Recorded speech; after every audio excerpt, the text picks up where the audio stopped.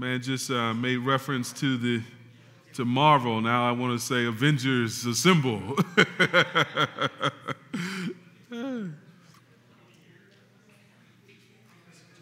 we go.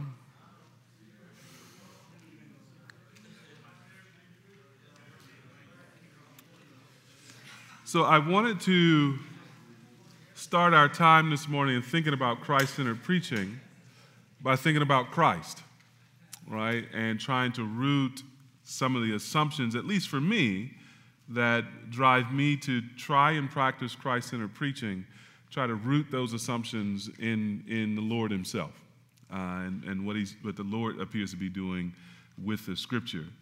Uh, sometimes I think we, we have a lot of good thinking on preaching, and it's great, um, but it necessarily rooted uh, in the scripture always. And um, I want to be careful not to just give you my opinions, but uh, in that first talk to try and sort of say, here's what the Lord did with the word. And we can't do better with the word than what Jesus does with it, right?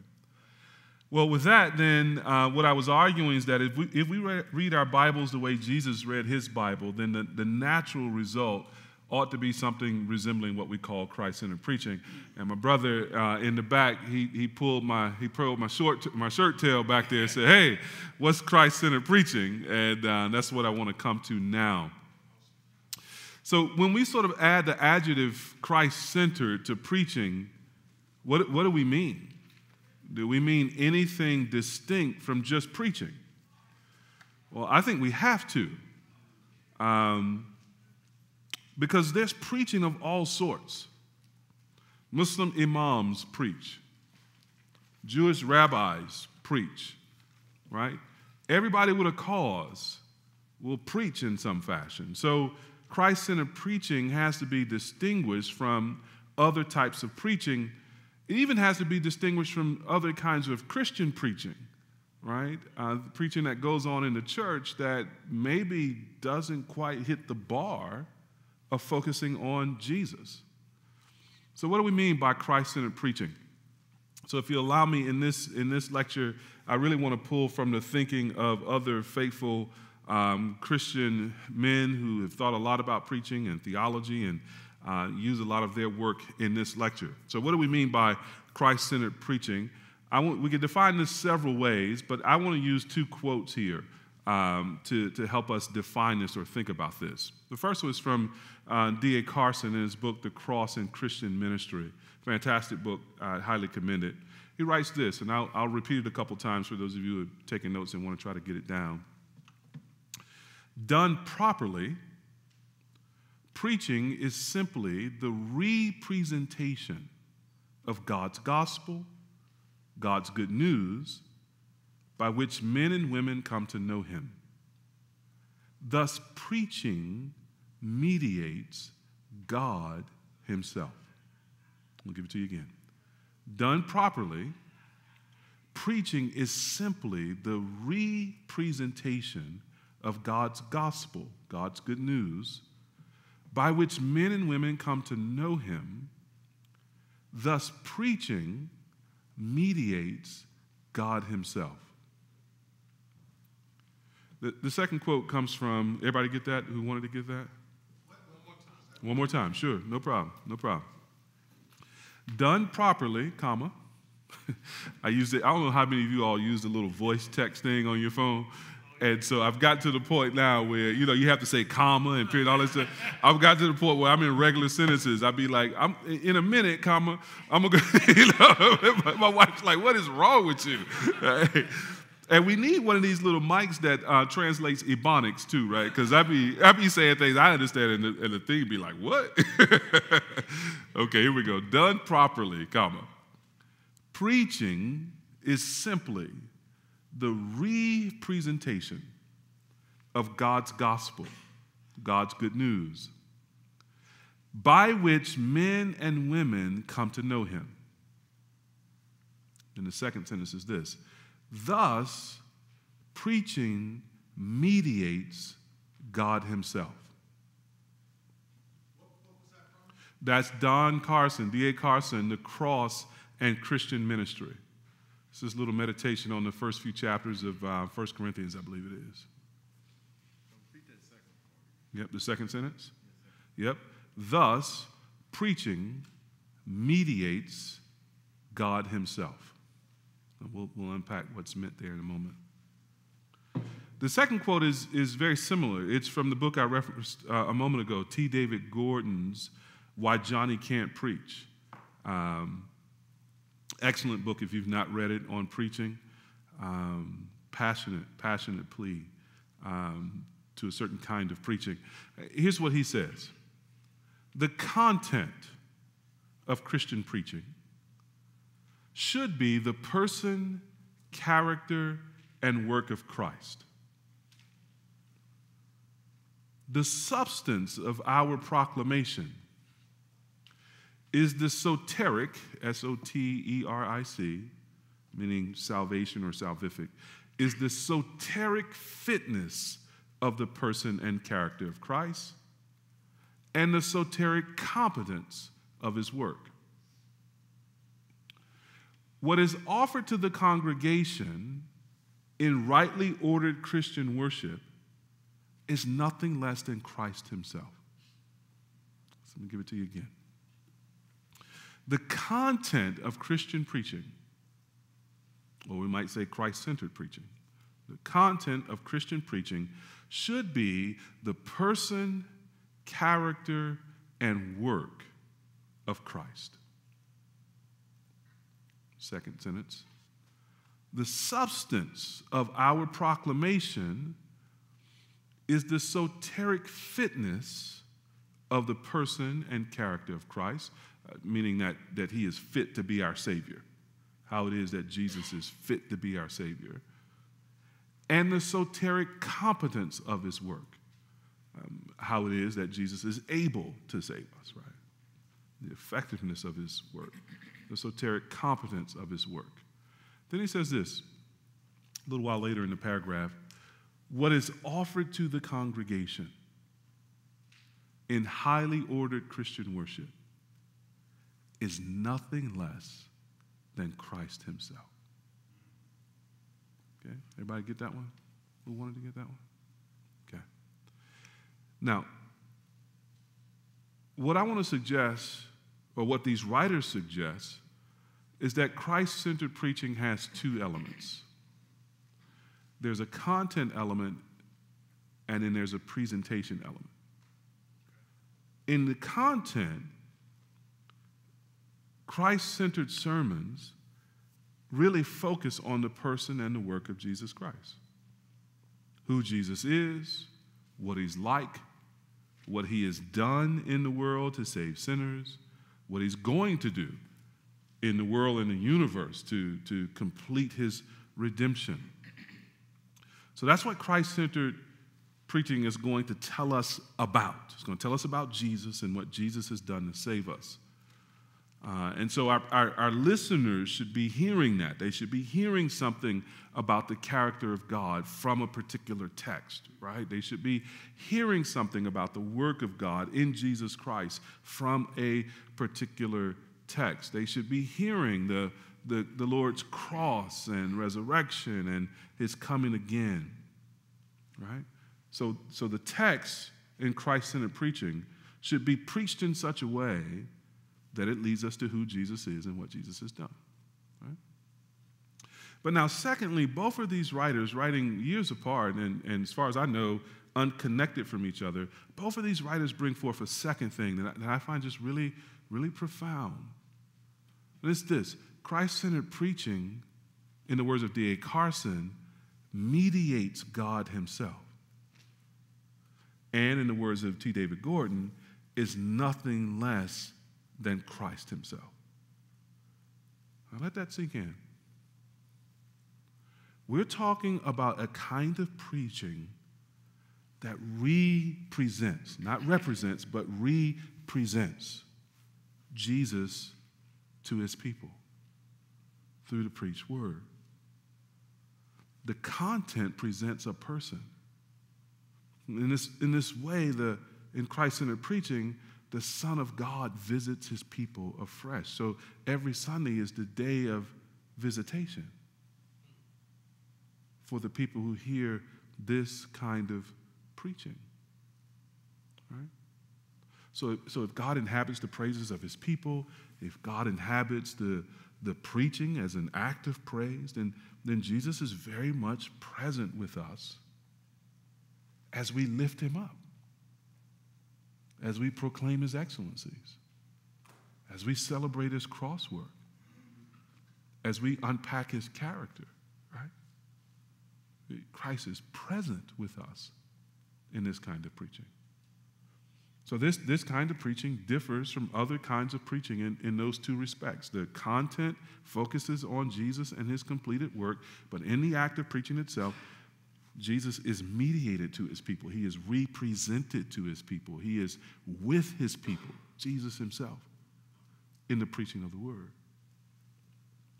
Now, that view of preaching leads me to at least three convictions. Now, convictions are a funny thing. Uh, I may have them, you may not, right? And, and they may be great for me to have, and you may have different ones. So, in offering these as convictions, I'm not giving you some new law, right? Uh, but I do think they're good and right. Conviction number one we should preach Jesus and the gospel from every text in a way that's natural to that text. We'll, we'll, unpack these. Let me give you these three convictions and we'll unpack them. So, we should preach Jesus and the gospel from every text in a way that is natural and appropriate to that text. Okay? Number two, if those two quotes from Carson and Gordon represent Christ-centered preaching, then the second conviction I have is this is we must never preach ourselves, brothers. We must never preach ourselves. And then number 3, as I said a moment ago or alluded to, if this is what is happening in the preaching, that there's something happening not just with the content, but also with the presence of the Lord in the preaching, then, then our preaching, we should really preach as an act of faith, worship, and love. Right? That preaching is not merely an intellectual exercise, it is not merely a duty um, that we perform on Sundays. That is certainly not how we sort of receive applause and, and, and accolades for ourselves. It's none of that merely. It is actually something we do as part of how we as preachers walk by faith. And it's something we do as worshipers. Preaching is a part of the worship, right? I'd argue the central part. And it's something we do out of love for God and for his people, right? If, if what we're doing is representing Jesus to his people, then those things should be motivating our preaching. Right? So, three convictions. Let me unpack them uh, a little bit. And again, if you reach different convictions, as the Bible says, let every man be convinced in his own mind. Right? So, first, preach Jesus from every text. Now, when I say that, what I'm not saying is that, you know, you, we preach for 30 minutes or 40 minutes or an hour and 30 minutes, however long it is, and then at the end we tack on a little Jesus. Okay? I don't think that's the best of gospel preaching. I'll take it. I'll take that compared to the gospel nowhere ever being cited in a sermon, right? So I'm not dogging it. I just think we could do better. Right? So we're not talking about, I'm going to talk about what I want to talk about from this text for however long a time. And then, oh, by the way, I got to somehow slap a little Jesus on it, right? That, that's not, we can do better than that, right? So the best preaching, I don't think, is presenting a kind of routine gospel presentation that has nothing to do with the actual scripture in front of us, right? The specific text should help us to reach Jesus in a specific way. So, yes, we're going to preach history as history and show how Jesus fulfills that history. And again, we can see the models for this, for example, in the New Testament. You think about Matthew chapter 2, verses 13 to 15, where Matthew seems to be reinterpreting Israel's history in Egypt in light of Jesus' going down to Egypt as an infant. And then he applies it, Matthew 2:15, out of Egypt I have called my son. Right? Well, he's taking something that was said of the whole nation Israel and showing how that is being fulfilled, right, in the, in the sort of life events of Christ himself. So he's, he's taken, if, he were, if that were a sermon, imagine that were a sermon for a moment, and he was preaching that passage um, of, of Israel's history, um, that would be a way of coming to Jesus in a way that's natural to the historical text that Matthew had in mind. You tracking with me? Let me give you another example. Just, we should preach the Psalms, right? As poetry. Um, and not just as poetry, but we should maybe really work to show how the Psalms are best understood if we imagine them on Jesus' lips. Sinclair Ferguson says, for example, that almost everything we know about the interior life of the Lord Jesus Christ we learn from the Psalms. And when you read the Gospels, you'll find statements like he had compassion on people, things of that sort. But actually, in terms of the sort of interior life of the Lord, um, most of that's revealed to us actually in the Psalms. And so to read Psalm 88 or any of the Psalms, for example, I think, I think we need to take the themes of that psalm, appropriate to the life of Christ and the events of Christ's life, and, and, and, and see them fulfilled there. And, and get to the gospel through those themes, through those truths. Again, not just in a formulaic way. We, we could go on and on, and, and maybe uh, what we'll do in the, the lectures for tomorrow is we'll take a few, a couple of passages of scripture and we'll try and sort of model this. We'll, we'll actually do some practice on this. But we want to reach Jesus in a specific way, a way that's specific to the text. Uh, sometimes that's laying right there on the page, right? Real clear reference to Jesus, not a lot of hard work you have to do. But how many of you know to do this well uh, and not to be reading things into the text that aren't there, right? Uh, to do this well takes some work, right? It takes a, a lot of work. So uh, I'm thinking here of, of, Edmund Clowney's framework, which I mentioned before. If you don't have the book Preaching Christ from All of Scripture, it's a fantastic resource. Um, the first couple of chapters will repay, you know, repay you for the price of that book. Um, he has a framework in here, and if I was a younger man, I would have had slides for y'all, but I'm, I'm an old man, so um, in, in, for me, an iPad is a legal pad. So, so, so uh, you probably can't see that. So I'm going to describe it for you. But um, Clowney has a framework in, in his book that he's, he's dealing with the issue of typology and symbolism. And he's talking about how do you go from typology and symbols in the Old Testament um, to Jesus and application in a healthy way in a New Testament church. And if you imagine, if you draw four boxes on your page, perhaps, you got two boxes up top, two boxes here, making kind of a square. In the, in the bottom left box, uh, you can write the word symbol. Right? So you're in the Old Testament, you see a symbol. What do you, what do, you do with that symbol? How do you interpret that symbol uh, in a way that makes sense in light of who Jesus is? Okay? Then you've got an arrow from your bottom left up to your top left and in that top left box, you can just write truth, right? So there's some truth that that symbol is meant to communicate, right? So somebody give me a symbol from the Old Testament. Any, any symbols come to mind? Ark of the Covenant, temple, right? Old Testament full of symbols, tons of symbols, right? So, you know, Clowney is saying, or yeah, he's saying what we want to figure out is in order to understand that symbol well and, and that symbolism well, we want to move up to this notion of truth. What, what truth is that symbol meant to convey? Uh, most of us probably have a symbol on our left hand, right? The ring, the wedding ring. What does that symbolize? Marriage, commitment, I'm done. You know, you know, symbolizes all kind of love. Yeah. Well, now the thing about a thing about a symbol is that a symbol will communicate truth, but what's more important, the symbol or the truth? Yeah, so we've got wedding rings that symbolize so much in terms of covenant and love and commitment, but what's really important is not the metal ring, right?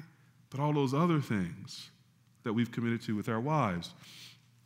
And so, what, what Clowney says we need to do now is we need to walk from that truth over to the box in the top right and in that box are the words final truth, right? And that arrow he calls fulfillment. So we want to walk from that truth, walk from that symbol or that type or that history. We want to walk from that up to the truth that's meant to be stated. And then we want to walk from that truth in the Old Testament over to the top right to that final truth, which is how it's fulfilled in Jesus Christ. Okay? Now, once we've done that, then we can drop down that last arrow to the bottom right to the box that says, um, You receive the benefit of truth, or the arrow which says application. Right? So that's kind of the, the arc that we want to travel. We'll travel from that text and the things that are in that text, whether it's symbol or whether it's type or whether it's history, whatever the case may be. We want to walk from that text up to the truth that that text is pointing us to, right? And at this point, the text may not say anything at all about Jesus explicitly, right? So we want to find the truth of that text. But then that truth now is going to find this ultimate fulfillment in Jesus. And so we want to walk over to Jesus and how Jesus fulfills that truth. And then we want to drop that Jesus fulfilled truth into the life of the hearer in the form of application. This now we ask that question, what does this mean to us? Right? You tracking with me?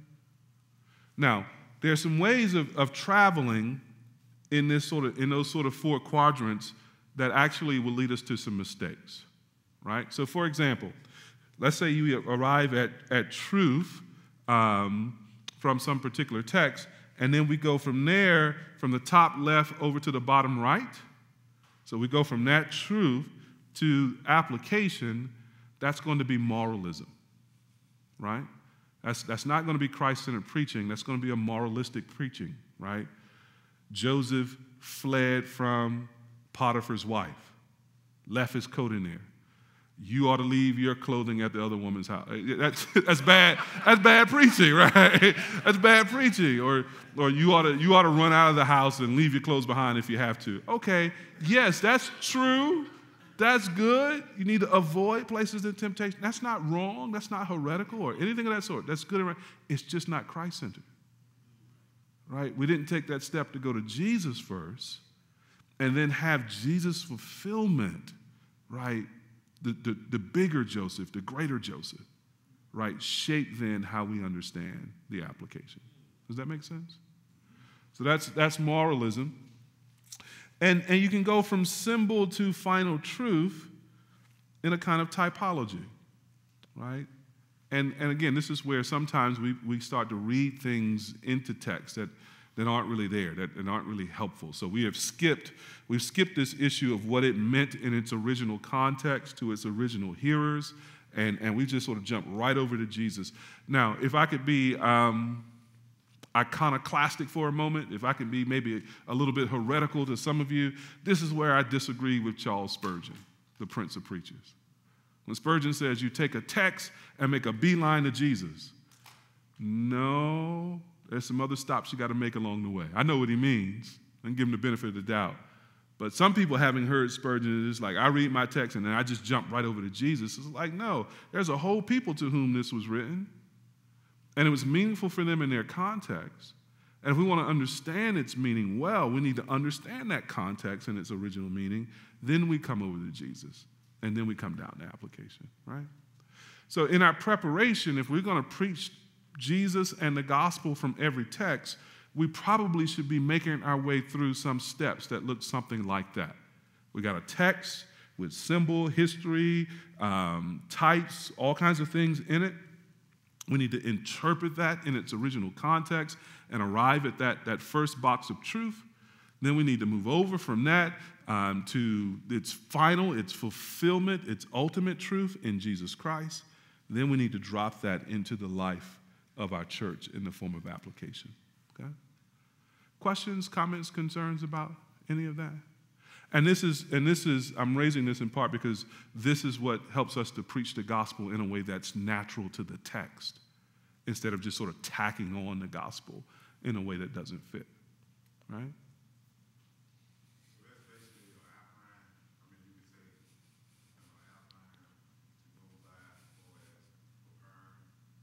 Right.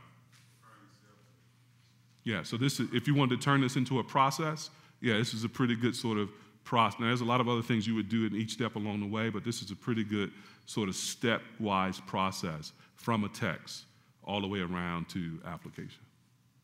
Yeah. As you've been stating, and we know the whole, whole Bible. Amen. Redeem his land. Uh, but are there particular passages in, say, maybe in the Old Testament, not even maybe considered in Proverbs, something where, you, you know, you kind of almost, uh, I know I've heard some brother made some mistakes. myself. I'll give you a quick example. Uh, I was listening to a person preach one time, and they was talking about Rahab. Uh, a lot of you probably heard it, like red scarlet. So he took the red scarlet and that represented Christ's blood and all that. So it seems as though, I guess, if what you're doing is good, uh, if we're looking at a text, it's easy if we're not careful to make some misappropriations, I guess, is what I'm trying to say. Because uh, we get Christ out of this text somehow. Yeah. Yeah. So what, what's, can you, you give a little That's good. That's good. So again, sometimes we can be too creative, right? So you see Rahab with a scarlet thread, and like, oh, let me run that over to Jesus and the blood. Uh, Okay, again, you're not. It's not heretical, but I'm not sure that's what that meant to Rahab, right? Uh, you know what I mean? Who never heard of Jesus, and you know, would be centuries before Jesus would come on the scene. So sometimes we can be too creative, right? I think one, of the, and, and the question is, how do you guard against that? Well, back to what we were saying earlier, let Scripture interpret Scripture right? So that's the first step. So it, it, it, may be that you're looking at a text that's actually picked up in the New Testament, and the New Testament writers have actually done that interpretive work for us, right? Um, and so Carson, and I forget who he did this book with, um, Brother Pastor may remember, but he, it, it's a book, and I'm forgetting the title, but it's basically, I think it's called the New Testament use of the Old Testament. Um, say again? G.K. Beale. Fantastic resource, right? Where they're looking at basically the New Testament's every use and interpretation of Old Testament passages, right? So a resource like that should live on every preacher's library uh, and bookshelf, okay? Um, G.K. Beale and Don Carson. It's a commentary of the New Testament use of the Old Testament. That's right. Uh, commentary of the New Testament use of the Old Testament. It's like a bunch of mini commentaries Yep. uh, specifically on that. Yeah. Fantastic work. G.K. Beale, B E A L E. And he did that with Carson, didn't he? Yep. Yep. And Don, Don Carson, D.A. Carson. Commentary on the New Testament use of the Old Testament. It's a clunky title, but it, it, the title is telling you what the book is really about. It is a thick one. So you don't want to put that in the middle of your bookshelf. Your bookshelf be sagging like that. Say again, it's one book. Yep, it's one nice, massive resource volume. So I think taking, taking a work like that, uh, seeing how the New Testament writers have, have used that Old Testament passage, checking to see if they have, I think that's really, really quite helpful. Um, or it may not be that the New Testament has quoted that passage directly, but the truth of that passage is discussed in the New Testament in various ways. Right? So just for example, you may have a passage that's on that's on holiness, right? And that passage isn't quoted in the New Testament, but my word, there's a ton of data in the New Testament on holiness, right?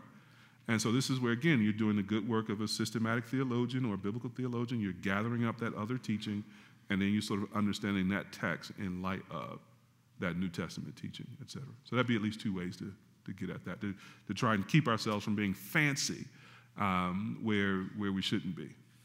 You know? Other thoughts on either that question or other questions?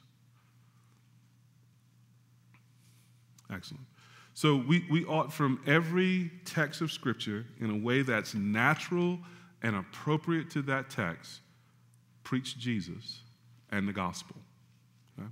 So to put the conviction in another way, I don't actually think you've done, we've done distinctively Christian preaching until we have preached Jesus and the gospel. Right? If we particularly if we're preaching the Old Testament and we don't get to Jesus, it's probably a good rabbi sermon. Right? If it doesn't get you kicked out of the synagogue for proclaiming who Jesus is and what he's done, the way it got the apostles kicked out of the synagogue, you've not yet gotten to distinctively Christian preaching, Christ centered preaching, right?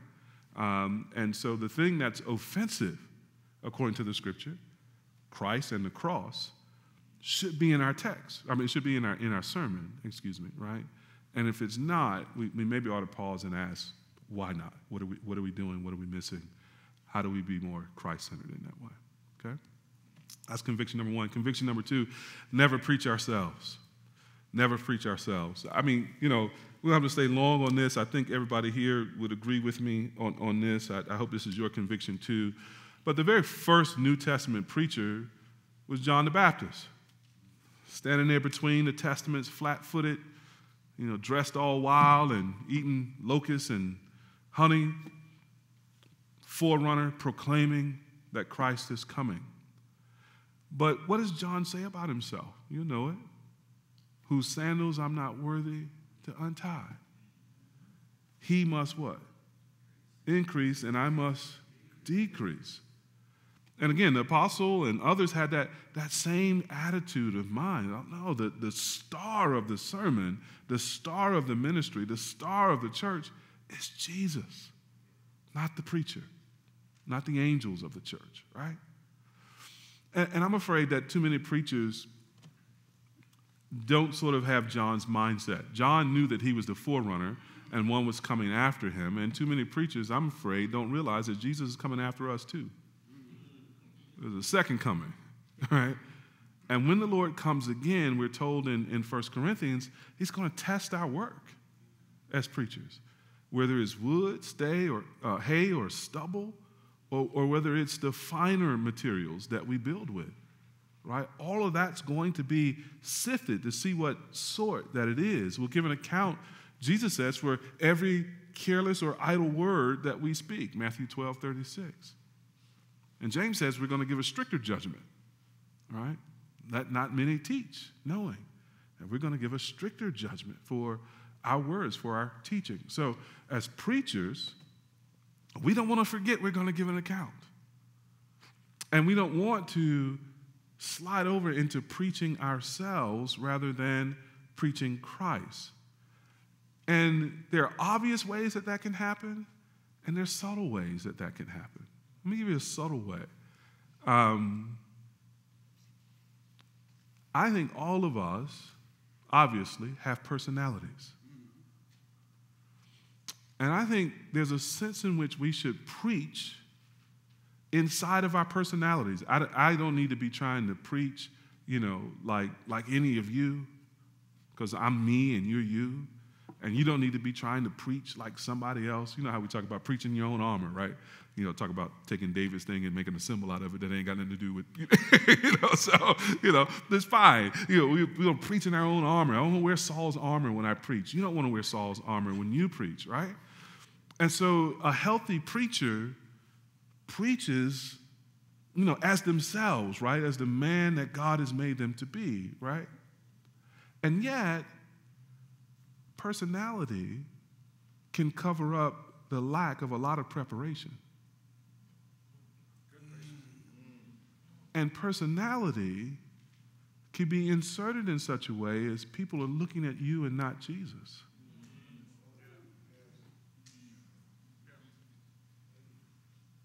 We don't want to do that, brothers. Not if Christ centered preaching is presenting again Jesus to the people. We, you notice I keep doing this gesture, right? We, are trying to get Jesus out front and to be seen. We don't want to present him like this. You know, like this is my dude, Jesus, and we on the same level, and you know, we just hanging out. No, no, no, no, no. Let him increase and we decrease. Many of you probably pray this great prayer, Lord, hide me behind the cross. Yes, right? We need to mean that prayer. And that means sometimes we need to do things like pull the personality back just a little bit. Right? So if you're particularly funny and God has given you a gift with humor, use it, but not so much that that makes you the star of the sermon. It takes people eye off Jesus, right? If God's given you a keen mind, a keen intellect, use it, but not so much that people leave the sermon thinking, man, he's so smart. He read a lot of books. Or worse, I don't know what he was talking about. right? Use who God has made you to be in a way that amplifies who Jesus is. Right? sometimes we're preaching ourselves, brethren. Or, we, or we, we're, we're putting ourselves out there a little bit because we want a little shine, right? And we should, that, just, that should just terrify us. That should mortify us. And we should want to put that to death and ask the Lord to free us from that. And, and this I know in my own heart. Maybe this, as I said, these are my convictions. They don't have to be yours, but I know my own heart's temptation to pride, beloved. I know how I feel when someone tells me that was a good sermon. Right? And I know when I am sort of reveling in that and that's puffing me up, I know when I'm doing that and when I'm giving God glory instead. Right? And we have way too many pulpits that have become some man's 15 minutes of fame every Sunday rather than the place where Jesus' glory, the Shekinah, dwells in the preached word. Right? And so there's a work for us to do in being sober minded about who really is the star of our pulpits and our sermons. And, and what are we drawing attention to? Uh, uh, again, and not because I'm anybody, but I'm just talking about my own sins. I, I, I do try to practice the idea that I'm the worst sinner I know, right? I could preach in such a way, uh, naturally, let me do this a different way. I, as a person, I'm wired for intensity.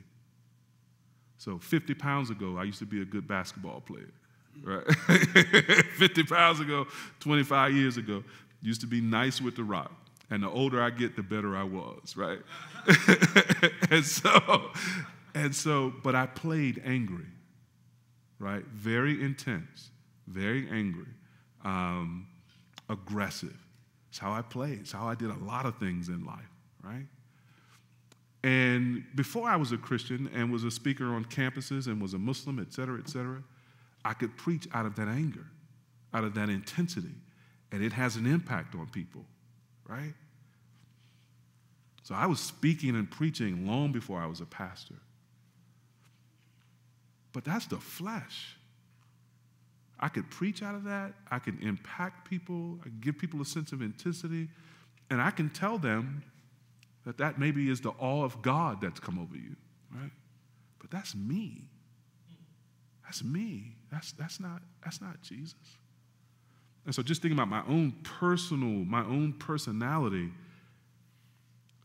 I spent a lot of time pulling that back, putting the old man to death, right? And, and not relying on that and quote unquote risking a less engaging, less entertaining, less something, stylish form of preaching. Because what does the New Testament say? What does Paul say? We, we want their faith to rest on the power of God, not the eloquence of man. Right? Right?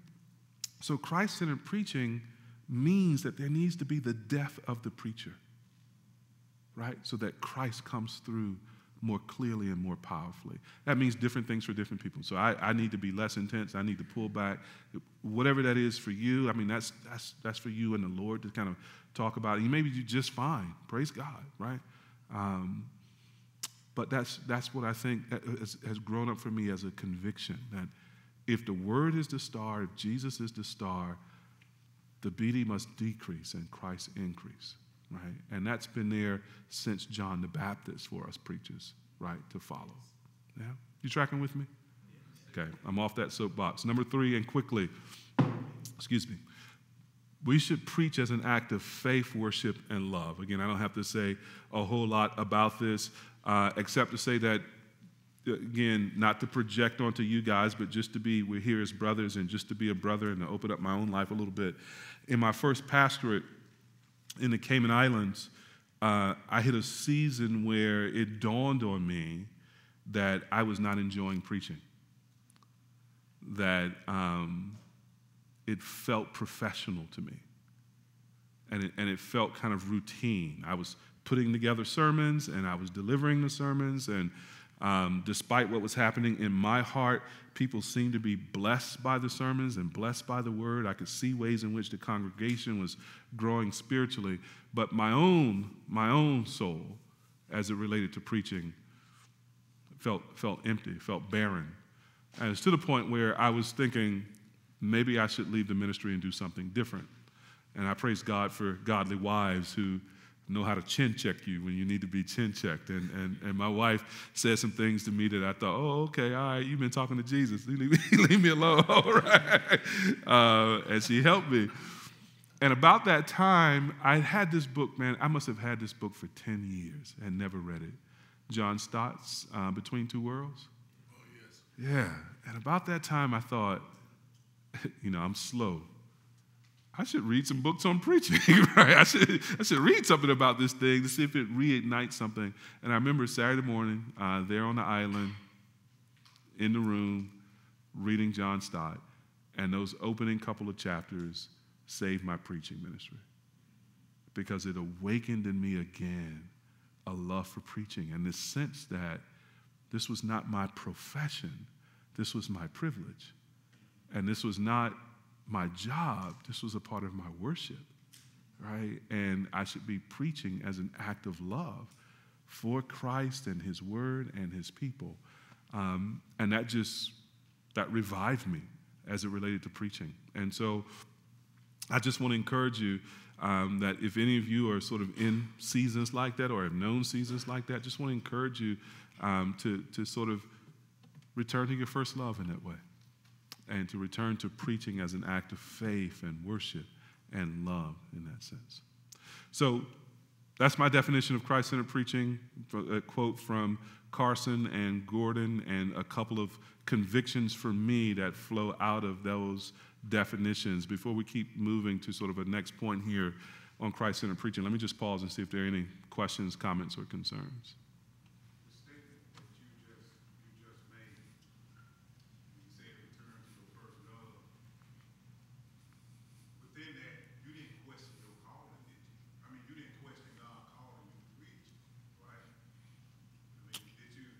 I, no, I don't think it took that form. Um, I think I was experiencing a pretty deep fatigue, what, what um, Lloyd Jones might call a spiritual depression in some ways. Um, and the, the sort of thought that came out of that was maybe I should go do something different, right? Now, I don't, I assume, you know, people here may have different views of calling. But I don't understand that a man is necessarily called to preaching his, his entire life. That that might be a season. Uh, and the Lord might move them on to something else. That's probably why I didn't think about it, you know, in quite those terms. But um, I think I was responding more out of the sense of spiritual despondency um, that, that I was experiencing at the time. It's a good question. Yeah. Yes, sir.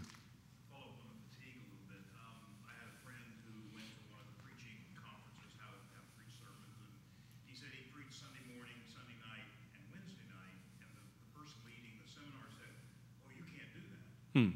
Uh, there's not enough time in the day for you to prepare for three sermons a week. So how does one, how, how, do, how do you, as a practitioner, as a preacher, as a, as a servant, how do you sustain um, the rigor of the kind of preaching you're talking about, the preparation and kind of, because it, it seems like it's hard. yeah, indeed, indeed.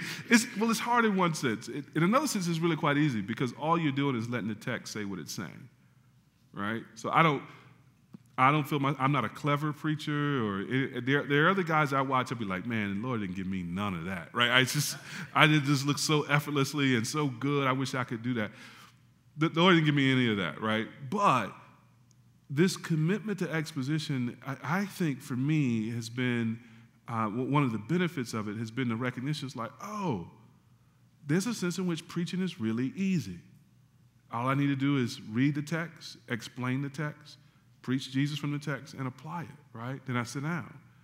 Now, I can make that more or less complex. So, part of what was happening to me in those years in the Cayman Islands when I was losing some, some life in preaching um, was, was I was preaching the commentary too much, right? I had this sense as a, as a young preacher in his first pastorate, I had this sense that I got to get it right. And sometimes that can be dialed up so high, right, that you really do begin to think it's all on you. And that's exhausting.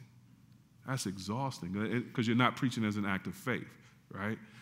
And so I was in all the commentaries and making sure I didn't miss something. And, and you know, I mean, even for obvious verses, right? And it's just like, well, maybe there's something here in the Greek or the Hebrew that I didn't see. And, and, and it was just, it was also a, a, an exercise in anxiety, right? Instead of letting the word do the work, right? So sometimes, at least for me, that's what was happening earlier on. And here's what I noticed God was really gracious, and I'll, I'll, get around to answering your question in a more succinct way, but God was really gracious. Here's what I noticed at the door after the services the sermons that I thought were great, right, that, that I thought reflected all the work I had been doing, people would walk out and they would greet me but they wouldn't give me any compliments, man. They just sort of walk out. They would leave the service and, you know, be like, dang, you know, nothing. I go home with no encouragement, man, right?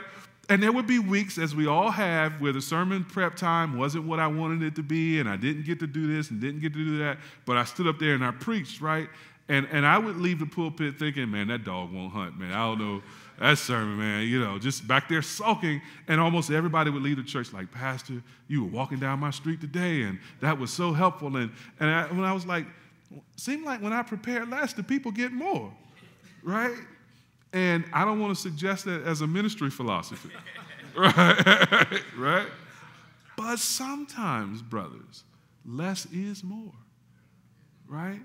And I do think that there are sometimes guys who are over preparing and, and their sermons are stilted and academic rather than dynamic and dialogical, right?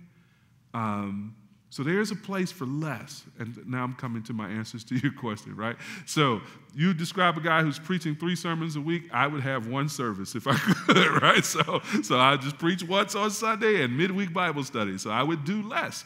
Now, he may not be able to do that. So here's where the second thing is really important, for me at least share your pulpit. Share your pulpit. There's no rule that he has to do all three of those sermons. He has a job, 2 Timothy 2, to train other people to preach and to do what he does. Well, now you've got, now he's got in his, the life of his church more opportunities to do that than I do because he's got three services a week. Okay, give that Wednesday night to your assistant. Give that Sunday morning to a, a lay elder. You know, share your pulpit. Team preach, team teach, right? That, that creates margin for rest. Right? And he may want, I don't know what, what he's doing in the pulpit, how long his sermons are, how he's approaching that but he may want to preach shorter sermons. Yeah. So instead of an, an hour for each sermon, you got three hours now a week, and you're spending 12 hours for each of those sermons to be prepared. That's 39 of your 40 hours, right? Ain't no time in there to be with his people, no time in there to do all the other things that, that ministers need to do. Preach shorter sermons. Preach a 30 minute sermon, right? 25 minute sermon, 40 minute sermon. Shorten things as much as you're able and, be, and, and can be faithful, right? Um, it's the word that does the work, right? And that might be a situation where that understanding is being tested, right? That the word is what does the work. Um, and, and that may be a situation where less is more.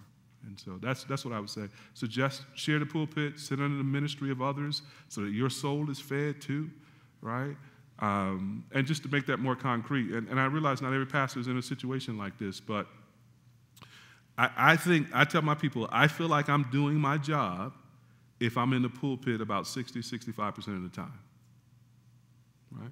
I hit that two thirds mark as the main preacher, I think I'm doing my job. And so when I lay out, I plan my sermons uh, in four month blocks.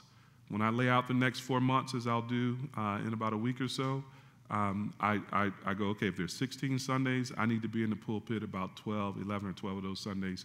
That means there are about five Sundays where I'm going to have somebody else preach, right? Um, so just plan your rest, take your rest, uh, sit under the ministry of the word. My congregation loves to hear other men preach, right? They, they just ex- rejoice to see God's gifting in other men. Our congregation, in God's grace, doesn't mind if a man struggles up there, right? Not a regular preacher. Maybe it's the first time they preached a sermon. They're out there cheering, they're praying, you know, and, and they're looking for the grace of God and the Word of God and whatever's happening up there. And he may have been a complete wreck on that Sunday. Now, I don't put him up there next Sunday. right? All right, like, come with me to Pastor Jacks' conference and let's let's let's get you some equipping, you know. Um, but I think in this sense we should we should we should often take more risk with our people than we do. The Spirit's in them, the grace of God is at work in them. If it's a young man who shows promise and loves God's word, and again, they don't need to be you, right? And so, share the pulpit, I think, is, is really important in terms of preventing that burnout, getting some rest, establishing some rhythms that make sense when you've got a preaching load that, that's that big. Is that helpful?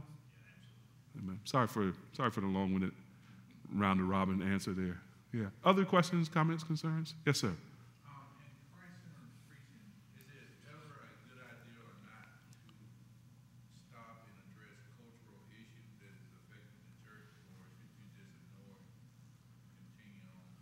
Let me hold that, hold that thought. That's the next point I'm coming to. It's a great question. Yes, sir. You made uh, the comment that sometimes young preachers can focus on uh, you got to get it right versus preaching as an act of faith. Mm-hmm. Yeah. So, my discipleship as a preacher has largely come through the influence of, of two men personally. A fellow by the name of Pete Rochelle. My first pastor uh, in Raleigh, North Carolina. He's the first expositor that I sat under. And when I think of shepherd, if, you know, his picture is beside that word in the dictionary, right? Gentle, loving, sweet man, preach God's word, clear, just lay it out, right? And then Mark Dever at Capitol Baptist Church in Washington, D.C. And I think between those two men, one of the things that um, has been a gift to me is an emphasis on faithfulness. So Paul says in 1 Corinthians 4 1 and 2, right, that we're stewards of the mysteries of God. And, you know, as stewards, we, we should be found faithful. That's really the measure of ministry. And that's been drilled into my head and my heart so many years for so long and then sitting in a church like Capitol Hill, which in some ways, um, you know, Mark and his emphasis on training young pastors, he, he, thinks of the church in part as kind of like a teaching hospital. You know, come there you, to make the rounds with the with the head doctor, and you know, send young guys out, and God's used that marvelously. But guys leave there with that smoke in their clothes. Have you ever been into a smoky restaurant or pool hall or gas station, you come out, you like, you don't even smoke, but you smell like Marlboros. You're like, ah, right? Guys can leave there with that smoke in their clothes, really thinking, okay, it needs to be done this way and kind of rigid, or really thinking, I got to get this right. I need to be faithful, right? And I didn't know it, but that was me going to my first pastor. It's like, I, I got to get this right. I, need, I want to be faithful, and there's a way to do things, et cetera, et cetera. And nobody had ever told me that explicitly, but that's what I sort of began to, to drink in. And it, it, it did. It created, a, it created a kind of anxiety, a low level chronic anxiety about preaching well and preaching right and getting the text right and all those things. And I was, I was preoccupied with that in an unhealthy way, like I said. And, and, and that would show itself, for example, in, you know, spending 25 hours on a sermon and a good 10 of those hours was in commentaries, right? Because I got to read all the commentaries. I got to see what everybody said and da da da. And then writing a sermon manuscript, which is more fitting for a seminary lecture than preaching to people who worked at grocery stores and worked as nannies or worked or worked in um, mutual funds and you know they, they weren't thinking about this stuff you know and so i was not really serving them well in that right and so that was, that was the getting it right bit, right? Which was this kind of perversion of faithfulness in that, in that sense. Um, and so I had to learn to relax. I remember I had an elder who said to me, um, and, and, and he and I used to kind of bump heads a bit, but he was giving me feedback on the sermon, and which he did almost every week. it was just like, Lord have mercy. And, uh, he was a lovely man. He's gone on to be with the Lord now. He's just a lovely man, a gem of a man. Uh, but we, we, were, we were starting to, you know, have some friction. And I remember him saying to me one day in frustration, he said, You, you, you might, you're taking this, this faithfulness stuff too seriously, which to me sounded like heresy. I was like, and I remember that weekend, my wife and I, we took the kids to the beach. We are sitting on the beach, and as it was, I was reading T. David Gordon's book, what, you know, Why Johnny Can't Preach, right? I was reading that book and was sitting on the beach. I said, baby, let me ask you something. Can you take faithfulness too seriously? You know, and, you know, just not knowing the context, she was like, I, I don't think so, right? I said, that's, that's what he said to me. That's what he said to me. I was all indignant about it. About a year later, I was like, I think he's right. I, think, he was, I, think, I think he was right. He saw some stuff there. So um, part of what was helpful for me was, was in time learning to even listen to my fellow leaders who, who might have had a different perspective that I didn't receive initially, but proved to be right, and learning to relax and seeing that actually the sermons that seem to bless people seem to be sermons that you know, I didn't put all that time into, and and um, and yet it was clear and, and and accurate to the text, and and and remembering again, it's the word that does the work, right? It's not the work that I did on the word that does the work. It's the word that does the work. Let the word loose, right?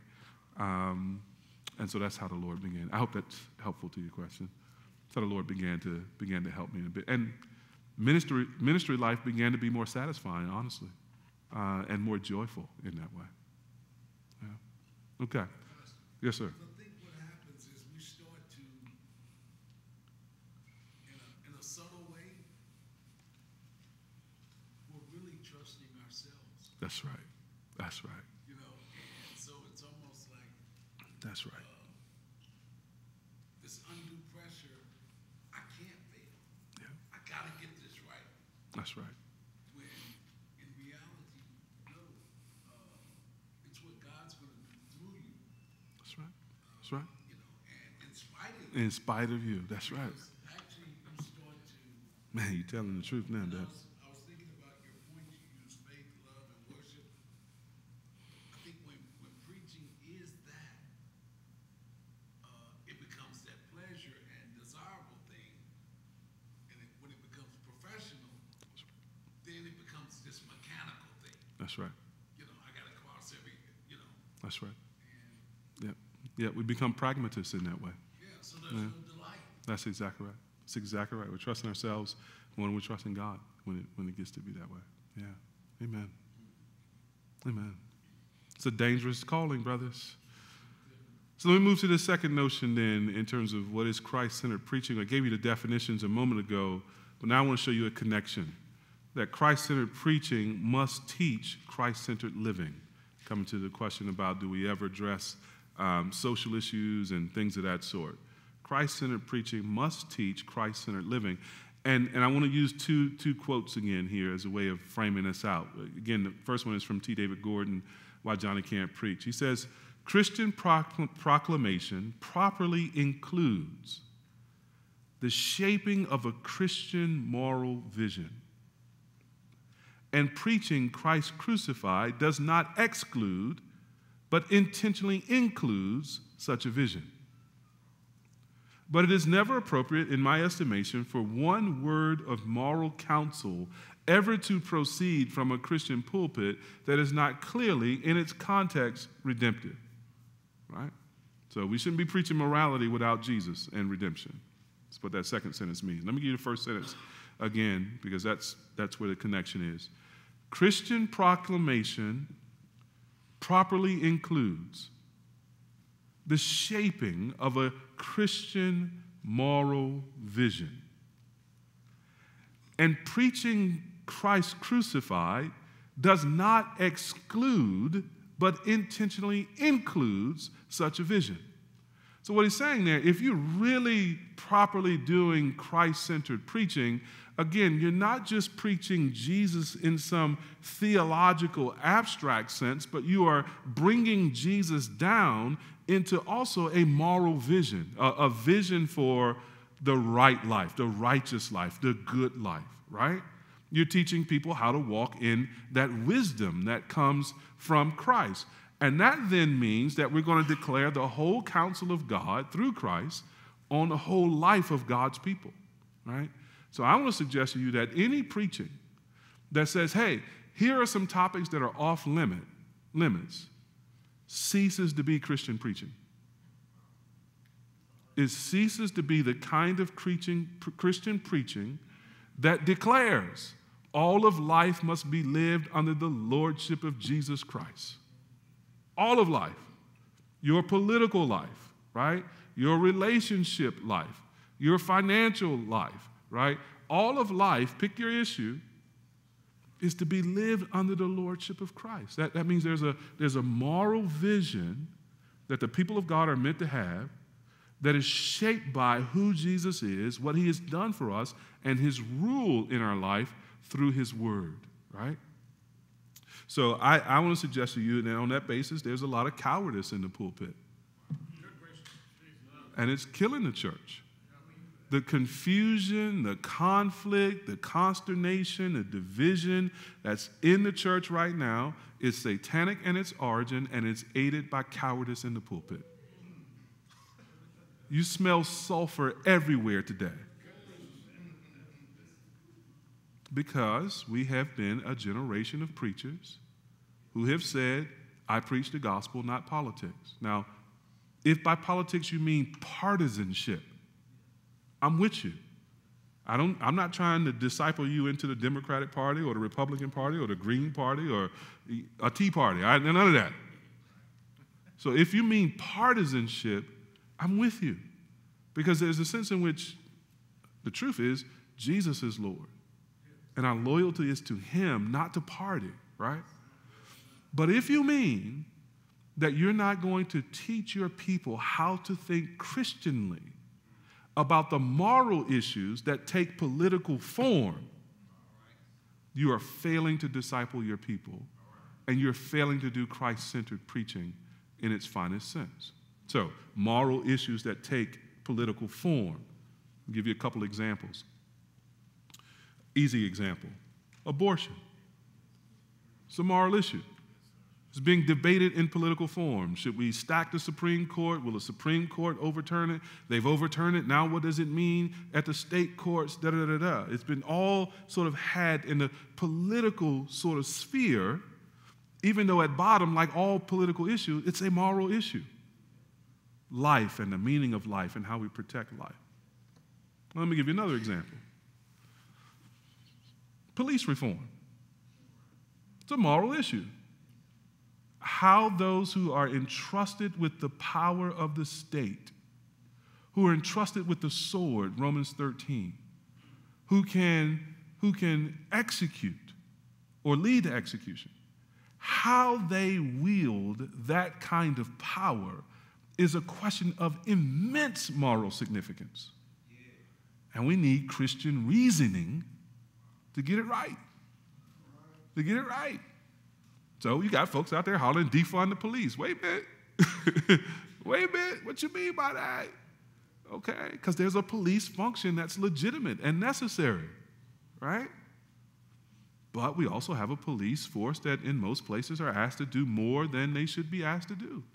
Shouldn't be getting your cat out the tree. Should, shouldn't be responding to mental health calls.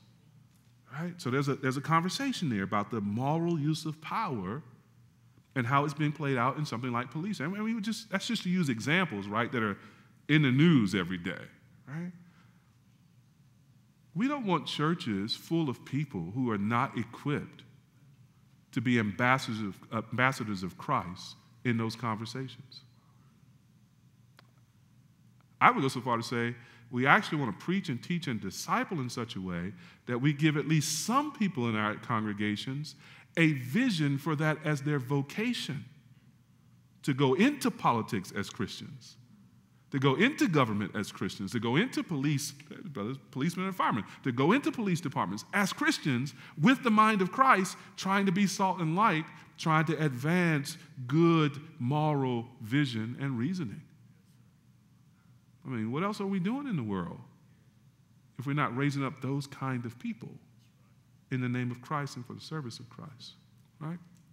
So I was supposed to give you two quotes. I got off on my soapbox a little too early. Let me give you a second quote. let, me give you, let me give you a second quote. It's from Geoffrey Thomas in a book called Preaching The Man, the Message, the Method. Good short little book on preaching. He says, Preaching is omnipotence, cap- capital O. So he's, that's his word, he's using that word for God, right? Preaching is omnipotence doing four things regenerating, instructing, convicting, and redeeming sinners. And then he says this that they may love God and be like him.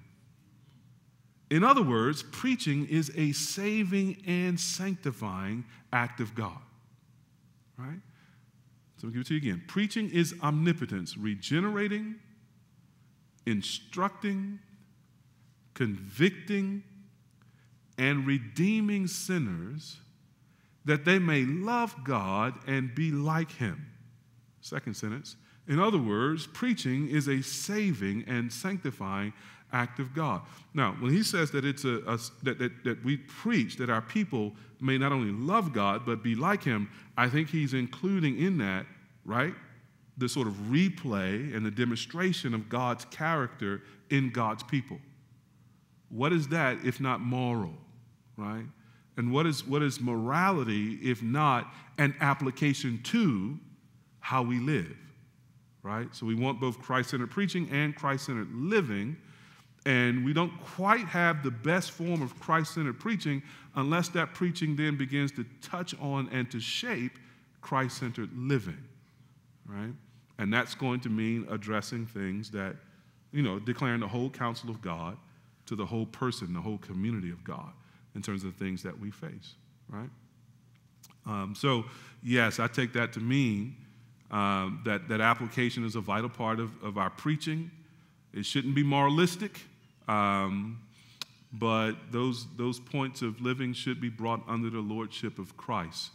Uh, and as I said before, I think one of the great crimes of, of preaching in this last, at least, least since I've been alive and, and observant of the church, the last 30 years or so, is that our application, our, our Christ in an application, has neglected for so long, uh, has been neglected for so long in favor of five steps to do this and three ways to do that, right? Um, we've become pragmatists in that way, in terms of how we think about the Christian life.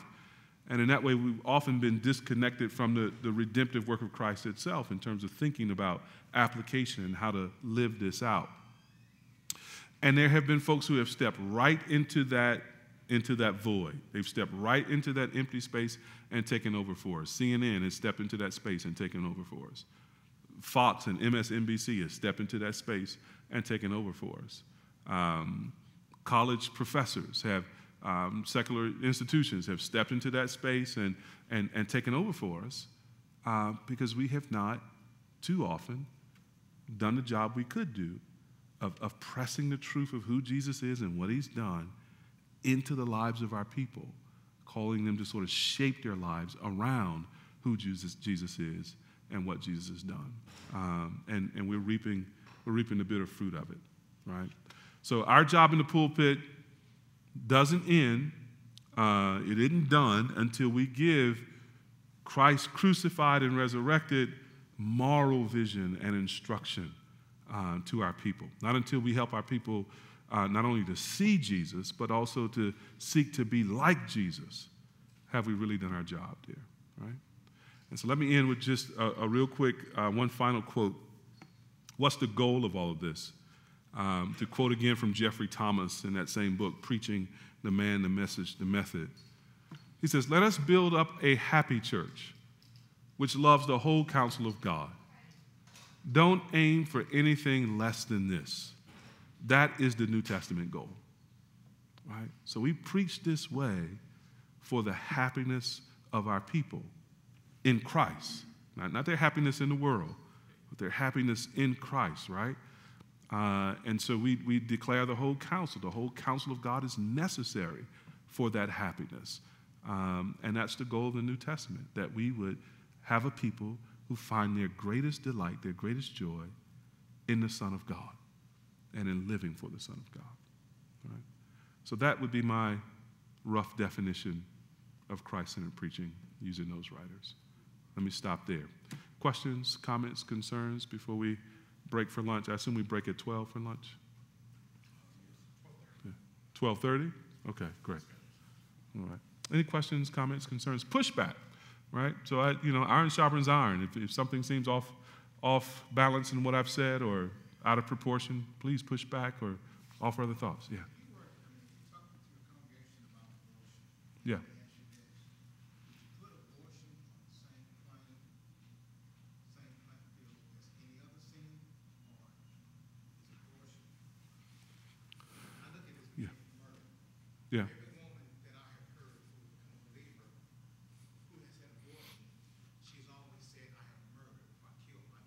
Mhm. I just found out the last year, that even men go through that same thing. I helped this woman murder my child. Mhm. I stole some candy bars as a little kid. I don't know if it was payday, Hershey, whatever. But are we, are we putting abortion on the same level as me stealing a candy bar? Yeah, I don't actually think that's our work. So our work is to preach the scripture line upon line, right? Precept upon precept, and to let the scripture give the weight and the balance to things, right? Um, so when we are now sort of in our preaching attempting to sort of say this sin or this category of sins are worse than these sins, we're probably doing something different than the text right? So if we're letting the text do the work, that's actually a, a question that the text doesn't raise, right? Uh, so we just let the text do the work, right? And we can preach on abortion and all of its moral gravity without having to sort of diminish the moral gravity of something else. Now, in an intellectual sense, we could say, hey, abortion is the worst sin going on. If we view it from the numbers of lives lost, it's worse than anything else going on. Okay, I have some sympathy for that. It's like, okay, but I'm preaching to particular persons, right? And there may be a person out there whose issue isn't abortion at all, but they are racked with guilt about their sexual sin or racked with guilt about how they're mistreating their children, right? Now, I don't necessarily need them to sort of enter into some evaluation about whether or not we're putting things on the same level. I actually need to respond, them to respond to the sense of conviction that God, the Spirit, is pressing upon them about their sin, about their particular sin, right? So, as a preacher, I'm, I'm just, I'm just taking the scripture and, and laying out the scripture and dealing with the scripture. Let me give you another example of, of, of where I think we could be tempted to, to, to maybe be trying to sort of figure out what's worse or not, right? Homosexuality. So, so in, in evangelical circles, homosexuality is the scarlet letter, you know, it's, it's this, ooh, you know, uh, same sex marriage and all the things that go with it. It's just ruining society, et cetera, et cetera. But if I look in Paul's catalog of sins in Romans 1 or 1 Corinthians 6, Romans 1, it gets more airtime. But in most places, if it's listed, 1 Timothy 1, um, 1 Corinthians 6, it's one among many sins that are listed, right? And I'm not to think that disobedience to parents is less serious in God's sight than homosexuality. I just that's not what the text is telling me, right? The text says, and take 1 Timothy 1, for example, 10 and 11, that all of that is contrary to the sound doctrine that conforms to the, to the gospel, right? So if my people are sitting out there listening to a list of things, all of which are contrary to the sound doctrine that conforms to the gospel, all of which could lead them to condemnation if they're not repentant believers, the thing I don't want them doing is thinking about which one's worse. I want them thinking about which one's mine. right? Right? And then turning to the gospel, turning to Christ for the grace that God gives for their sins. So, as our Presbyterian friends put it in, in one of their statements, we want our people to learn to, to confess their particular sins particularly. Right? And I think a lot of, a lot of our preaching and a lot of our discussion about these things uh, sort of are up here, right? In, in conceptual ways when the scripture keeps bringing it down here into our lives. And that's what I would want to do in the pulpit. Now, outside the pulpit, having some conversations, maybe it's a panel discussion or some other things, or I'm just talking, and you mentioned the young woman that you're talking to, et cetera. I think there are plenty of other places where we can enter into those kinds of conversations, and they're good conversations to have, right? Um, and, and we might say, yeah, in, in terms of just sheer scope, right, of death, there's nothing that's comparing to abortion right now, right? That's a fine conversation to have. In the pulpit, I want the text to drive what I'm saying and doing there. That's, that's all. That's a long winded way of saying what I'm saying there. Does that make sense? Yes. Now, Pastor, you wouldn't disagree though that I love those leading questions. You wouldn't disagree, though. I- there is that there is an appropriate uh, Christ-centered preaching that uh, helps people to understand that there are categories of sin because there are categories of judgment and rewards. So, in an appropriate way, I can present the scripture and say that, you know, I don't want, uh, and I, I'm in full agreement with you. Mhm. I want you to see your sin as your sin. Mhm. But I do need you to understand that, uh, that, that there, there is a degree, even in judgment, people in hell are not going to all suffer the same judgment. They're going, you know, so I think, uh, long as I, uh, and back to, I think, what I believe you, uh, to say, that as long as we stay with the scripture, if the scripture shows that there is some degree, then I am in, in harmony to Yeah. show that there is a degree. So a couple- But, but, but, but still, we need to see how it applies to me personally. Yeah. So a couple, couple things I would say, um, or a couple things that come to mind. So if we're talking about categories of sin, we could we could think of something like Paul's uh, lines in I believe it's Corinthians, where he talks about he's talking about sexual immorality, sees sins done in the body, and sin done outside the body. Right. So there's a categorization there. We could take the the two tables of the commandments and talk about a kind of categorization that the first four commandments have to do with our responsibilities to God. The, the last six have to do with our responsibility to our neighbors, right? And so we, we, could, we could categorize things, yes, right? So I don't, I don't mean to be suggesting there's no categorization that we could do. We, we could talk about sins of speech. We could talk about sins of um, omission and sins of commission. Sure, right? Leviticus 4, whole chapter on unintentional sins. Yeah, because I'm thinking Right. about the punishment. Yeah, but, uh, but this, being, being in agreement with, with the action. So in Right. other words, there are some things that you could do that actually could cost you your life. Sure. There are some things that you could do that just simply cost you a smack on the hand. well, but we're talking about sin. Right? And if I'm guilty in one point of the law, I'm guilty of the whole law. So, so this is the second thing I wanted to get to. I think beneath these questions is, the, for me, the question of how do we handle this subject pastorally? What is it pastorally that I want my people to understand and to sort of go away with in these conversations? So, if all I'm trying to do pastorally is give people categorization, I'm not sure how helpful that is. Especially if that categorization tends them to somehow think more lightly of their sin. I want to go the other direction. I want them to take their sin more seriously. Not to the point where they cave in on themselves as if there is no Savior, but to the point where they run to that Savior more and more, even over the so called slap on the hand, because that slap on the hand, apart from Jesus, gets you condemned eternally. It's no light thing. It's, yes, light conceptually in comparison to some other things that may cost you your physical life and be really terrible, but it's all terrible. It's all on the side of terrible, right? So, what I, what I find more common in my people, this tape, this ain't, this is, I don't know this tape or what, but I find more common in the people the Lord has entrusted to me is a tendency to rationalize their sin and, and, to, and to try and move toward minimizing their sin. That's the bigger danger to me than, than people who are sort of, you know, maybe miscategorizing things or not understanding that they're categories or that we could talk about those kinds of things. No, I, I'm actually pastorally more concerned that we develop an abhorrence to sin, that we see it for the enemy that it is, and that we run to the Savior, our captain, our victor. You know, against it. Again, whether we judge it small compared to something else, etc. I don't want my people I don't think God wants any of his people to be the Pharisee at prayer saying, Thank God I'm not like this publican, a sinner. That's a real danger, right?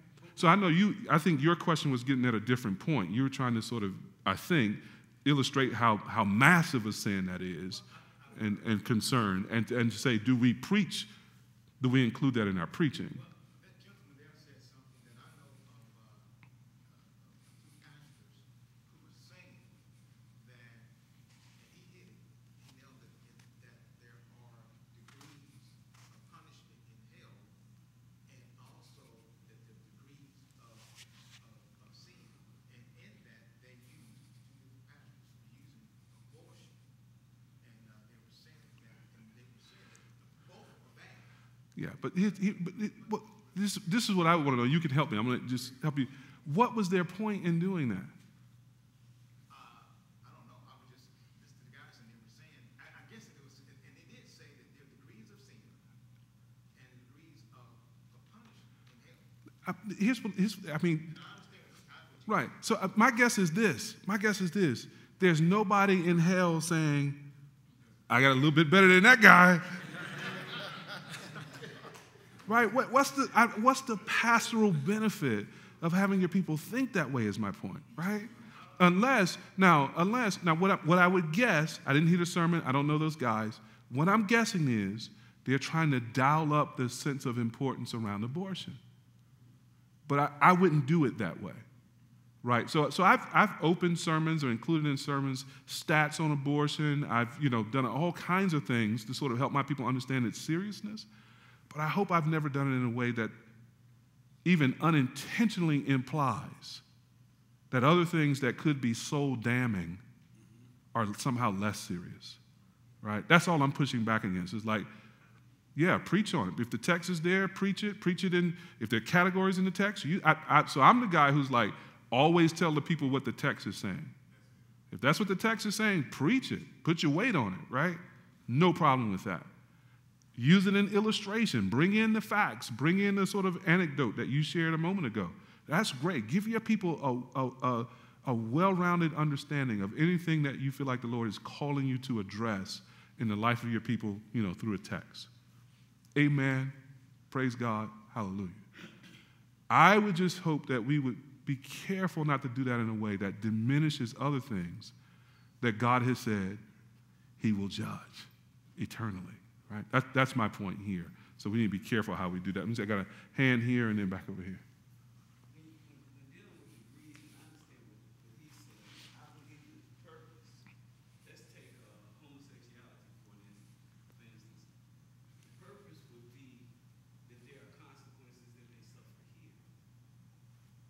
when, when, when As is the case with all the other sins.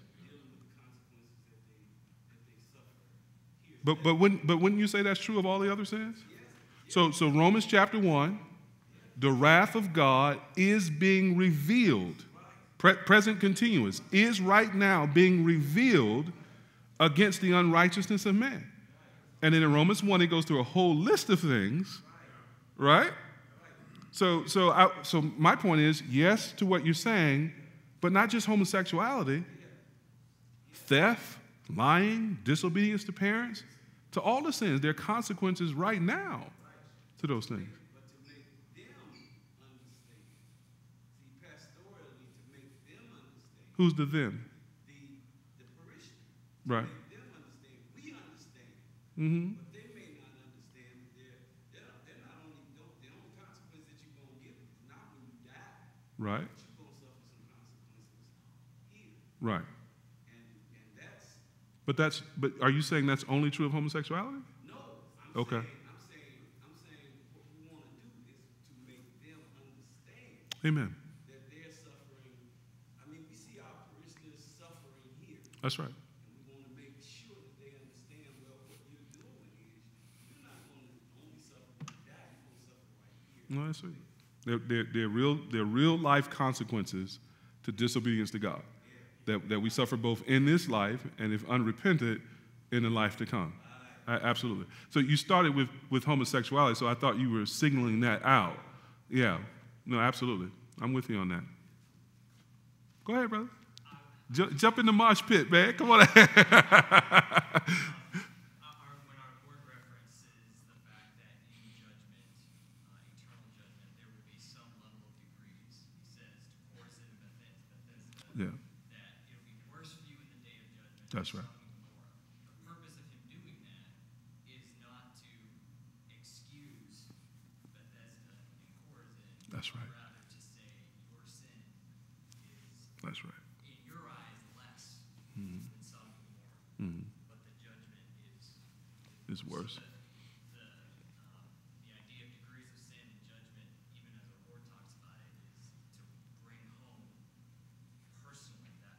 That's right.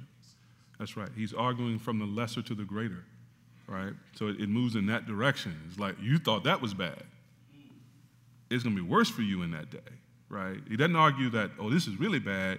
Come back down here. You're a little bit better than, right? And, and not that anybody's saying that, but, but that's what I think we want to avoid in that way. Yeah, we want to move in the direction that Jesus moves with that. Yes, sir. You know, sometimes we just uh, tend to focus on what we feel are the most heinous sins, but uh, then we forget about Proverbs chapter six, Hmm. uh, you know, sixteen through nineteen, the things that God hates, Yeah. and it's the things that people are doing every day. Hmm. But you know, when we, we get focused on these other things, we start saying, well, you know, at least I'm not an abortionist. At least I'm not this. But you forget about that you're, you know, you're sowing discord among the brothers. That you are, you got a lying tongue. That you, you know, That's so good.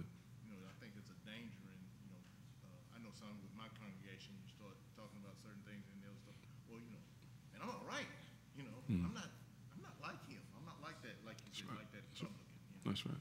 But you, you know, you may be worse than that publican. That's right. Better, better ask your Lord. yeah, no. I was speaking about degrees.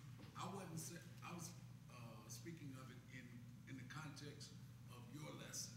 Mhm. You were talking about Christ-centered preaching and then getting to the application. Uh-huh. All right, so I can't properly apply what I don't properly explain. Amen. If I get Amen. the explanation wrong, Amen. I'm gonna end up applying it wrong. Amen. So therefore, when I was speaking about the degrees, I wasn't talking about saying, well, to make me feel like I'm better, or, you know, but, uh, but there's just simply, uh, the fact that you don't, uh, punish people, I think in society, in your home, in the church, uh, all uh, disobedience or law breaking, the punishment is in, ought to be uh, comparable to what was done wrong. So you don't punish somebody, uh, you know, now we know with God, any sin, uh, you know, is all sin is sin, but uh, but but not quite to this. Uh, I mean, when we're talking about unbelief, ultimately that's the only sin you're going to hell for. All right, but in in living, there is uh, greater consequences that can come upon you for doing some things than doing something else. Yeah. That- So that's the point I'm talking about. I'm talking about in, in living life. If I, you know, if I'm if I'm involved in homosexuality, right? There is a greater, uh, there's a greater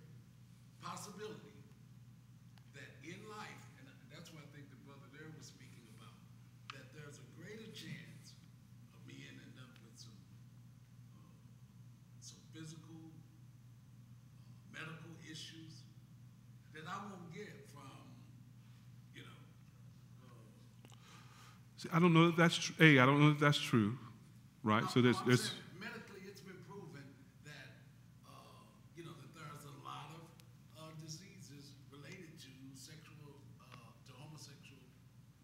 Uh, So- that's been scientifically proven. So let me let me do this in the in the interest of uh, maybe time and um, keeping us on on the scripture. um, so I I think what I hear in your comments, brother, is that I'd want to make a distinction between human justice and divine justice, Correct. right? Correct. So when we're talking about doling out human justice, which we're called to do, we need to take into account a sense of proportionality, proportion to the to the injustice. I absolutely agree with you on that. We need to take into account um, things like the the sort of nature of the victim. So if if if the victim is a child or a person with disabilities, we, we tend to see a crime against that person as more heinous than two grown men, you know, duking it out, you know, in the street, et cetera. So there are a number of factors in there that should be taken into account at arriving at something that looks like justice, right? Um, and, and, and it would be, as I think you're saying, an injustice to give, um, to use a real life example, someone caught with simple possession of recreational marijuana, the same crime that you would give someone who has been trafficking marijuana and cocaine and other things in huge volume, right?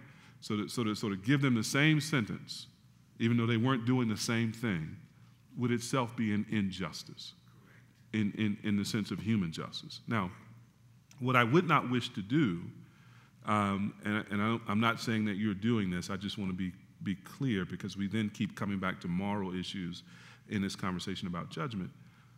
I, I would not then want to argue from the sort of human examples back over to divine justice and what would be just in a divine sense. Partly because, as David says, though he sinned against Bathsheba and Uriah, he says, ultimately, my sin is against you and you alone, Lord. Well, that is to commit a sin against an infinite God, an infinitely good God, right? And that's part of the basis upon which, whether it's stealing a candy bar or murdering a hundred people, we die unrepentant of that sin and unbelief. In one sense, we all get the same judgment. We're all separated from God eternally to endure his wrath. Now, whether or not we want to talk about it's better for Bethsaida and Chorazin than it is for you, right? That's a good conversation to have. My point is just it's all bad. It's, it's, not a, it's, not a, it's not a conversation that we want to have in the place of, again, I know you're not saying this. Um, it's not a conversation that we want to have in the place of pastorally when I'm preaching. What am I calling people to do? I'm not calling them to make those kinds of distinctions. I'm calling them to see themselves in the presence of a holy God who will deal with them about their sin and that they therefore need to respond to his grace in Jesus Christ, right? Um, the pulpit needs to make a certain sound. The trumpet needs to be clear, right? And unless the text is telling me to get into these sort of categories to explain Bethsaida and Chorazin or explain, you know, sins done in the body and et cetera, et cetera, unless the text calls for that, I'm probably not getting into that kind of categorization. And I understand because, like, That's all. uh, with um, you know, just maybe this is just my own thinking. Of course, of course it is. It ain't Pastor Jacks' thinking. but, uh, I'm saying that as I think about the subject, yeah. homosexuality, abortion, all these different subjects. When I think biblically, you know, I don't know of anybody uh, that in, you know, I don't know of a whole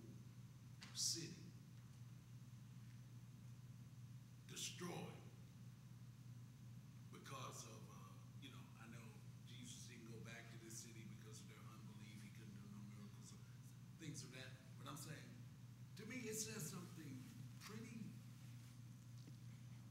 pretty strong. That God would destroy a whole city of people because of their homosexuality. And I know there are those who try to. But, but hold on, but hold on. I, see, this is where I, I, I want the scripture to speak, because I'm going to go back to my brother's citation in the New Testament. That's not how Jesus uses that text. He says, if he's saying anything strong, he's saying it's worse for you than Sodom and Gomorrah. No, No, no, no, no. Stay with me. Because I think you're going in the I think you're going in the opposite direction with that comment. When Jesus appropriates Sodom and Gomorrah and, and uses it as an object lesson for his hearers, he's basically saying, You guys are worse than Sodom and Gomorrah. So the stronger statement isn't Jesus destroyed a city because of homosexuality. That is strong. no, I wasn't talking about Jesus' statement. I was talking No, no, about but just but the reality. but I'm bringing. I, I understand, but I'm bringing it back to Jesus' statement because we're talking about Christ-centered preaching, and we're talking about how Jesus reads the Old Testament and how Jesus uses it there. This is a good example of how we could draw a moral conclusion without going through Jesus, and actually reach, I think, a right conclusion, but a but an incomplete conclusion. So yes, it's right to say it was terrible. It was a it was a, an awesome demonstration of God's wrath and holiness and the heinousness of their sin that he destroyed that city in an instant. That's true. Correct. But that ain't all the text is telling us. If we stop there, brothers and sisters, that's what I'm talking about in terms of a kind of moralism that's not Christ centered preaching. We want to come over to Christ first, see how Christ dealt with that text, and then drop it down into our lives. So it's true, but it's partial. It's part of the truth, right? And I think if we are in the pulpit ringing those partial truths, ringing the bell of those partial truths without coming through Christ and then coming down to, to letting Christ define how we understand those things, that's how we're going to be sort of off the line. That's how we're going to lose the plot there. Um, and so this is a hard conversation because in, in some ways it sounds like we're disagreeing about how bad Sodom and Gomorrah. We're not. We're, I'm, I'm in complete agreement about that. I'm saying it's a terrible sin. That's right. But I'm saying don't stop there. And, I, and I'm not saying that there's any sin that we should embrace. I, agreed. I know you're not. I'm simply saying homosexuality in every way must be condemned from the pulpit in Christ centered preaching. See, and, and I'm saying every sin must be condemned from the pulpit in Christ centered preaching. And the singling out of homosexuality is the, in, in, is the indication. I don't, I don't know what it is. I don't know it's more prevalent than lying. I don't know it's more prevalent than disobeying your parents. I don't know it's more prevalent than any of the other sins that are mentioned there, brother. It, it gets more press.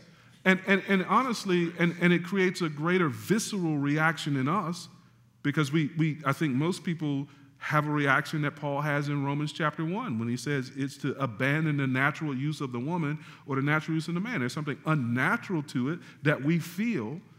But, I, but let, me, let me finish. Let me get, a lying movement.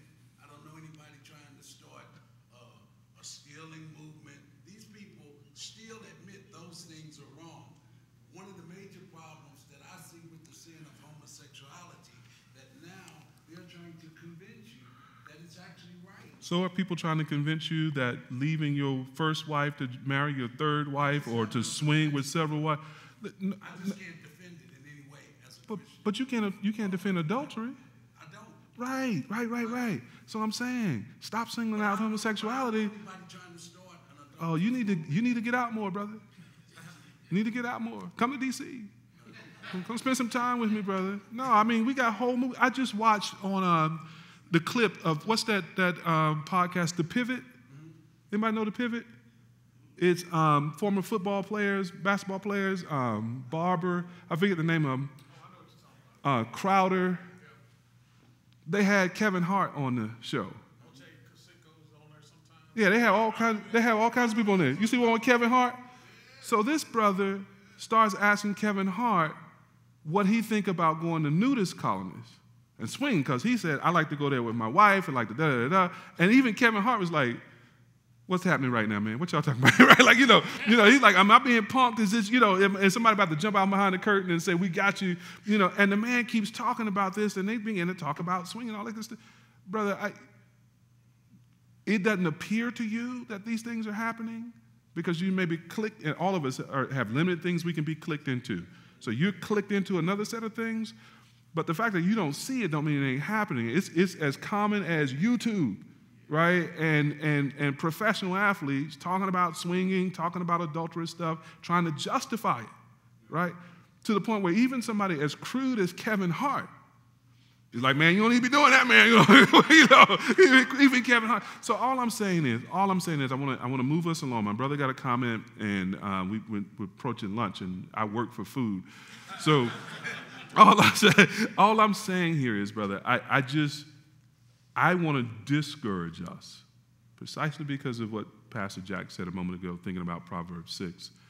I, I want to discourage us from allowing what might be our own personal sense of. I'm not saying you're homophobic, brother. I'm not saying that at all. I agree with you about the issue. So this is what I'm saying. It, it feels like we're disagreeing, in, and I don't want anybody to be mistaken that we're disagreeing about the issue. We're not, right? What I think we're disagreeing about is the place of priority that we might put one moral issue against another. And I just want to discourage us as men who declare the whole counsel of God, who believe that God speaks in this book. And our job is not to preach ourselves, including our opinion about these things and their relative weight compared to other things, but to preach what thus saith the Lord and to represent Jesus to his people. I just want to encourage us to work really hard not to let these sort of personal things slip out as if they are God's perspective. It's easy for us as people who are right about the morality of an issue. It's easy for us not to stop and think about whether or not I am right in all the ways that God wants me to be right. Right? So that's all I'm saying. It is let's let the scripture set the agenda for the pulpit, right? And, and let's let the scripture set the, the balance and the weight to these things. And then let's declare with all of our might what thus saith the Lord, right? And, and let's let Jesus determine that. Amen? Amen. Well, we should stop here. Pastor, you want me to pray or He's like, he's like, I don't know. I was checking on lunch. like, I don't know what you're doing, bro. So it's 12, it's what, about 12, 15, 12, 20? Okay, so lunch is ready. All right. Well, let me offer a word of prayer. This is a good conversation. I don't mind the pushback, and as you can tell, I don't mind pushing back. So this is iron, this is iron sharpening iron, and this is what Keelan and I do every time we get together. We have fun like this. So um, don't go away thinking that there's anything but love between, between us in this way. Amen. So let's pray. Father, we thank you so much for your word. We thank you for your son. We thank you for his work on our behalf, how he has redeemed us from a much deserved judgment, and how he has made us, Lord, your children, uh, though we don't deserve it. And we thank you that you have left us your word. You've protected your word through the centuries, that we might have it even in our own language, and we might have freedom in this country to give ourselves to it completely we pray that you give us grace to do just that. We pray for our brothers and sisters in lands uh, where they would be persecuted for this truth. We pray, Lord, um, strengthen them and hold them up and reward them greatly and bring, Lord, their persecutors to their knees in faith in Christ. Uh, we pray now as we go to, to break bread, having fed from your word, we pray that you would feed us um, with this physical bread, that you would give us health and strength uh, that you would knit our hearts together in love as we fellowship, Lord, over this meal, and that um, we would grow by it, Lord, spiritually and physically. Uh, thank you for the hands that prepared it. Thank you, Lord, for the church and its hospitality. Reward them a hundredfold, Lord, for their goodness and kindness to us, we pray. In Jesus' name. Amen. Amen. Amen. All right. All right, hold it, hold it. Don't go nowhere. Just sit right there. All right, hey,